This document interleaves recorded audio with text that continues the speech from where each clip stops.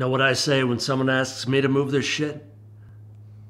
No. It's hard for me to even just sit with a woman and have a conversation. I'm too old to pretend to be something that I'm not, and a lot of the things I am are not attractive. And this girl, oh, she was so beautiful, like Ali MacGraw. She was a sex addict, which pisses me off. Where was I when Ali MacGraw was addicted to sex? I do not like so many things, and so many of them are things that a lot of people like, and Radiohead would definitely be on that list. Ella Fitzgerald is a great singer. Thom Yorke is not a great singer.